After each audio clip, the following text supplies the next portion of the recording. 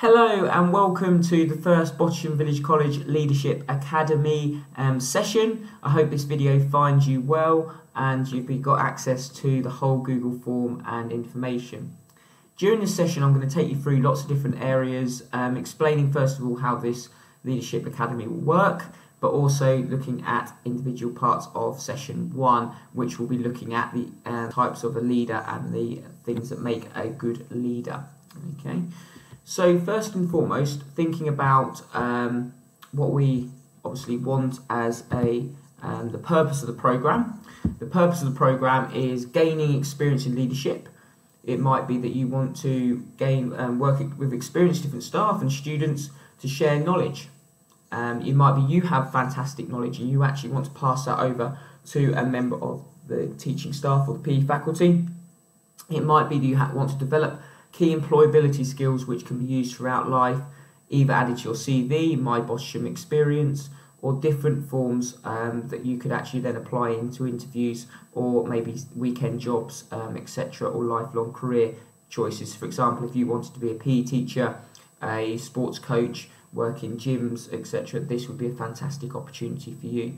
But you'd also be able to look at the employability skills such as communication, teamwork, planning, um, reflection um, and evaluation, etc. All those different key skills which are really, really important throughout life in different forms. Also, it can challenge you. It's actually quite difficult and challenging sometimes being in front of other people and having to lead. Therefore, it's a really, really good opportunity for you to try and practice um, practice that. Okay. So, in session one, which is this session, um, you are going to be looking at why be a leader what makes a good sports leader, and there's going to be different forms of a leader we're going to look at. Your task associated with this is going to be to research a sports leader of your choice. You'll be submitting this via the um, Google form, which you are now hopefully on, and you're accessing this video. There's going to be a series of different questions for you to complete, but also this task where you can upload, so via taking a photograph or upload a document um, which includes your research of a sports leader of your choice. What you'll need to do to successfully complete this course, you will need to complete not only the different sessions, but you'll also need to complete the different tasks associated with it. Some of them will be practical based as we move through, and some of them will be more theory based like this. Okay, I will explain each week by week um, how the program will work. So, on the screen now, there are lots of different sports leaders.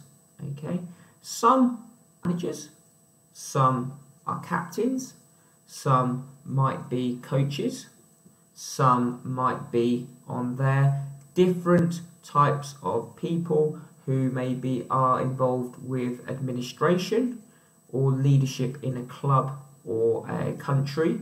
Okay, so for example, um, Baroness Karren Brady, bottom left, okay, is a director okay, um, of a West Ham United, and also is involved with boardroom level.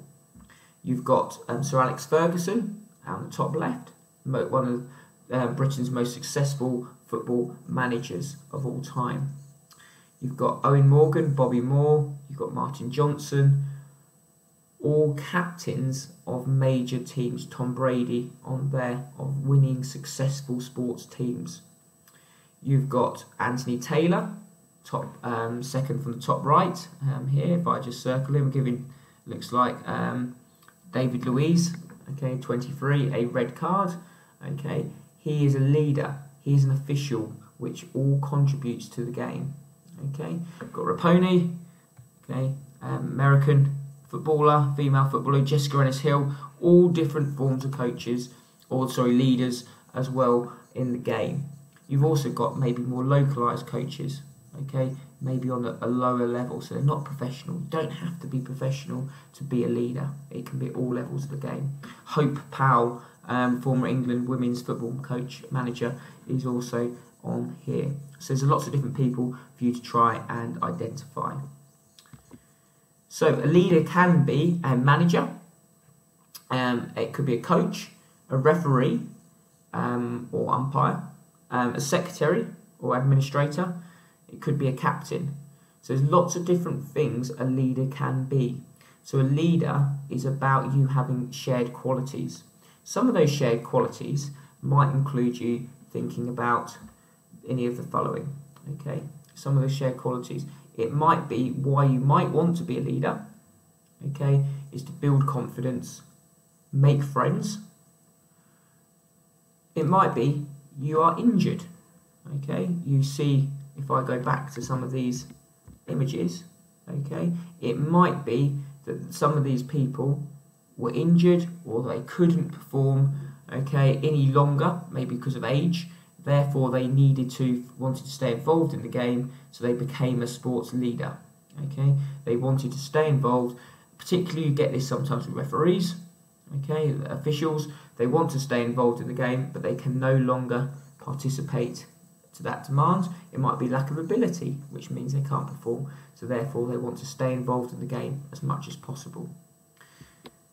So, with those key qualities, just have a think about, and you may want to pause the video, you're welcome to. If you want to think about, obviously, what those shared qualities are um, as a leader um, across those different attributes there. Okay, so you're welcome to pause that and have a think. If you thank you if you have already paused that or if you would like to um, just if you just continue straight on. Obviously going back to this slide okay? So obviously why be a leader. You're gaining new skills all the time. You're learning. It might be you're learning from participants if you think back to Sir Alex Ferguson when he started his career in about the ni- um, late 1980s it would be very different his type of career okay, his um, attributes would have been very different different to 2013 when he retired. Okay, when he was managing different players, they some argue now he wouldn't be able to manage in the same way um, and light that he possibly does um, that, that he did back in the time. Okay, earn money. Leaders can earn money. A refereeing earns good money. A Premier League referee earns a very good salary, certainly more than me as a teacher. Earning money also could be Saturday job, you going out and doing your local football Colts game as a referee. It could be as a manager. Okay, all these people that we had those photos up of, all are leaders of some kind that earn money. Okay, they have the opportunity and they give opportunities to other people. Okay, because they want to maybe inspire the next generation it might be that they want to give opportunities to their um, to their children, okay, or their um, younger siblings, okay, all different family members or friends. So it might be they get involved their local sports club as a leader to give opportunities. Staying connected to the game, as I said previously, once you're retired, okay, or you feel you are maybe no longer able to participate actively, you want to stay connected to the game, Therefore, what you may choose to do is you may choose to maybe be a secretary or something associated with the club at a level. I'm going to focus on enjoyment. You might really enjoy being part of sport.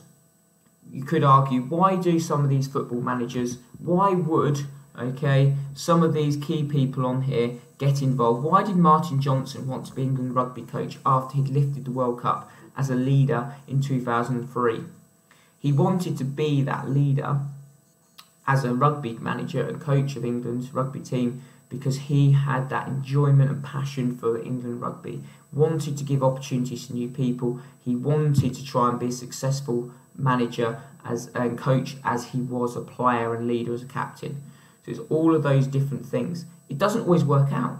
Bobby Moore, okay, as shown on here, okay, 1966, England's only captain to lift the World Cup.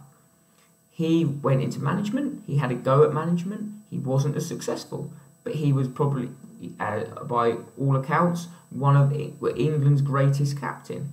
Not only by the fact he won the World Cup, but some of his key qualities that he possessed. So it's a great opportunity for that.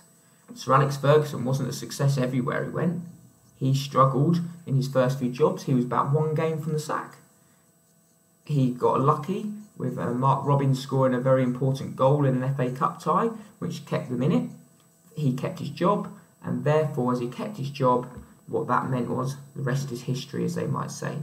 Okay, Eoin Morgan wasn't necessarily successful, okay, as a Test match cricketer, but he then went on to be England's well, our, England's greatest white ball captain of all time, lifting the World Cup um, a few years ago in 2019. So there's great opportunities there throughout the game that you always have to take into account, and not always that people are not always in the greatest position always throughout. So they might not always be successful in everything they do.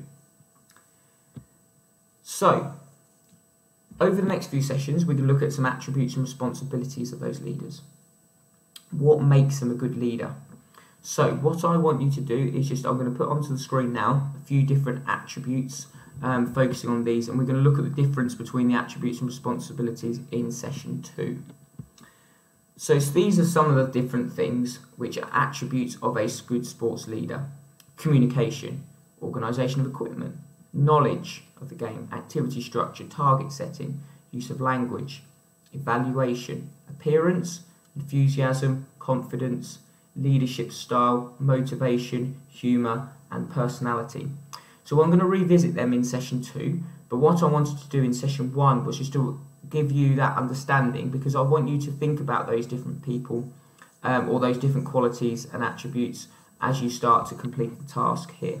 So if you do need to rewind, you're welcome just to skip back and have a look back at some of these attributes if it helps you with the task.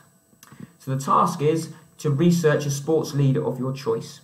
So whether or not that's any of the ones I had on the screen, it could be your local sports coach, it could be your local, um, it could be me or any other member of the P faculty, it could be any sports leader, okay, so anyone that's a coach, a referee, a um, captain, of your kind, um, any form of leader you can choose.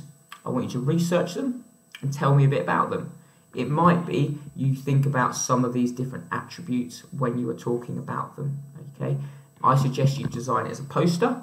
But if you want to do it as a leaflet, if you want to do it, present it however you wish, okay, spider diagram, however you want, you are going to research a sports leader of your choice and tell me all about them. Might be telling me about some of their experiences. So when we talk about knowledge, we might say Sir Alex Ferguson, how many games he's managed in his career. All those different things will build up, so that's why he's a good sports leader, which we'll be looking at in session two and beyond. Okay, so they are the tasks for um, session one. I hope um, that all makes sense. If you've got any questions, please contact me and Mr. Darling, and I'll happily answer them. I very look forward to seeing all your work please upload it to this Google form. If you've got any problems doing that, just please email it to me and I will upload it for you. Um, and I hope to see you all in session two, which will look at the attributes of a sports leader. Thank you.